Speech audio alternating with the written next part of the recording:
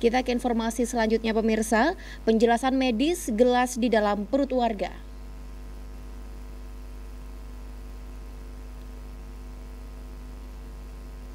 Nur Lasiadi, warga dusun Rowotengu, Desa Sidomulyo, Kecamatan Semboro, Jember, akhirnya menjalani perawatan medis di Rumah Sakit Balung. Lasiadi ini dikabarkan sudah tiga bulan mengeluhkan sakit perut bahkan sulit untuk berjalan karena terdapat benda asing berbentuk gelas kaca di dalam perutnya. Pasien kemudian menjalani pemeriksaan dengan di USG. Rongsen yang ternyata benda berbentuk gelas kaca cukup nampak hingga akhirnya Lasiadi harus rawat inap hingga tim dokter mengambil tindakan medis dengan melakukan operasi bedah. Untuk mengetahui seperti apa penjelasan medis mengenai gelas utuh yang berada di dalam perut warga Dusun Rawotengu, Desa Sidomulyo, Kecamatan Semboro, Jember ini, telah terhubung bersama kami melalui sambungan telepon Kepala Humas RSD Balung, Dr. Dodi Radisakti. Halo, selamat sore, Dr. Dodi. Ya, selamat sore. Ya, dokter. Ya, Dokter Dodi saat ini Gatekeeper sore tengah membahas di mana uh, ada gelas utuh yang berada di dalam perut warga Kecamatan Semboro seperti itu, Dok. Dan ini menjadi penanganan pihak medis dari Rumah Sakit Daerah Balung Jember. Mungkin Dokter Dodi sebelumnya bisa menceritakan kepada kami, Dok, seperti apa sih uh, kondisi awal pasien ketika datang ke Rumah Sakit Balung, Dokter? Oke, baik, Mbak jadi kondisi pasien pertama kali datang itu de, diantar oleh relawan. Datang di IGD Rumah Sakit Bandung pada tanggal 28 itu dengan keluhan awalnya sulit berjalan hmm. dan merasa ada nyeri di bagian perutnya. Dan itu sudah berlangsung selama tiga bulan. Jadi seperti itu untuk keluhan awalnya Iya. Dan akhirnya seperti apa dokter hingga mengetahui bahwa di dalam perut pasien ini terdapat benda asing? Oke, selanjutnya diperiksa oleh tim medis kami di bagian UGD, dilakukan pemeriksaan fisik dan lain sebagainya, dilakukan pemeriksaan radiologi atau di foto ronsen.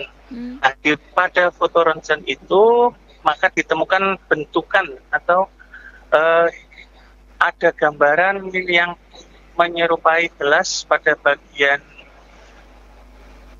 apa ya kalau kita bilang bahasanya itu pada bagian anus atau dukurnya seperti hmm. itu.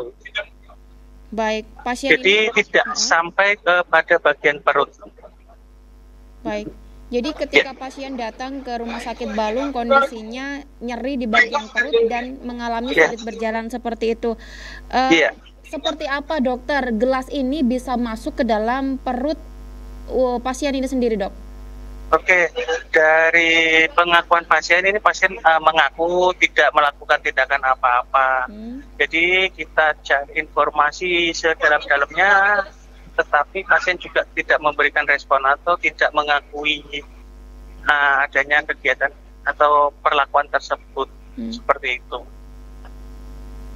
Namun secara ilmu kedokteran, dokter, apakah bisa sih dok gelas ini bisa masuk ke dalam perut seperti itu, dokter? Oke, okay.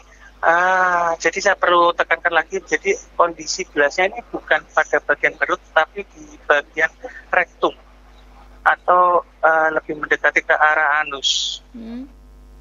Ya, jadi kalau dikatakan apakah mungkin, bisa jawabannya ya mungkin untuk ukuran gelas bisa masuk melalui lubang anus atau lubang dubur. Baik. Apakah eh, di bagian anus atau dubur pasien ini sendiri, dokter, ada tanda-tanda bahwa eh, pasien ini eh, memasukkan atau dimasuki gelas ini dari anus itu sendiri, dokter? Oke, pada pemeriksaannya memang terdapat luka lecet di sekitar anusnya. Hmm. Kecurigaan bahwa memang gelas itu dimasukkan mengarah ke sana. Ada lecet di sekitar anus seperti itu. Cuma ya tetap pasien masih tidak mengakui melakukan tindakan itu. Iya. Dokter, bi mungkin bisa diinformasikan juga sebesar apa sih dokter gelas yang berada di di, di dekat anus ini sendiri, dokter? Sebesar gelas blimbing. Ya, Hmm. Gelas blimbing itu berarti ukuran diameternya sekitar 4 sekitar 4 sampai 5 cm diameternya. Panjangnya sekitar 5 sampai 7 cm. Ya. Baik. Lalu langkah apa yang dilakukan oleh pihak rumah sakit untuk mengeluarkan gelas dari eh, tubuh pasien ini, dokter? Eh, yang dilakukan itu awalnya akan direncanakan untuk operasi pada bagian perutnya. Hmm. Namun begitu melihat kondisi pasien dan kondisi foto ronsen ternyata lebih mendekati ke arah anus atau dubur. Jadi dilakukan eh, kalau kita bilang itu pelebaran pada bagian anusnya. Hmm. Jadi dilakukan sedikit eh, insisi ya atau perlukaan atau robekan di bagian anus atau duburnya sehingga bisa dibuka untuk bagian anusnya. Ya. Baik, butuh waktu berapa lama dokter Dodi untuk mengeluarkan gelas ini dari eh, area anus pasien?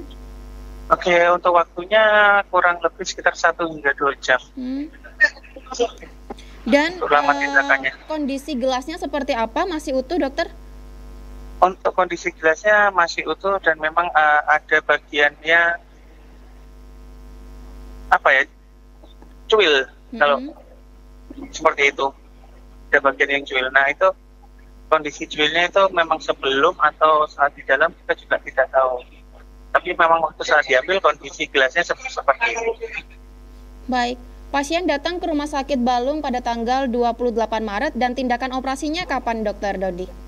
Satu hari setelahnya tanggal 29. Baik, tanggal 29 Maret dilakukan Iya. operasi. Lalu saat ini pos- posisi pasien masih berada di Rumah Sakit Balung? Eh, posisi pasien sudah pulang, dinyatakan bisa pulang oleh dokter bedahnya. Saat ini posisinya sudah di rumah. Baik. Namun eh, pasien ini sendiri masih menjadi pantauan dari Rumah Sakit Dok eh, Rumah Sakit Balung seperti itu, Dokter. Oke, siap. Masih kita pantau untuk perkembangannya. Dan saat ini pun kami tim dari Rumah Sakit Balung sedang menuju ke rumah pasien Ya, untuk baik. memantau kondisi G. Baik, terima kasih atas informasinya, Dr. Dodi Radisakti, Kepala Humas RSD Balung Jember, telah berbagi informasi bersama kami di program Gatekeeper. Terima kasih, Dr. Dodi. Selamat sore. Selamat sore.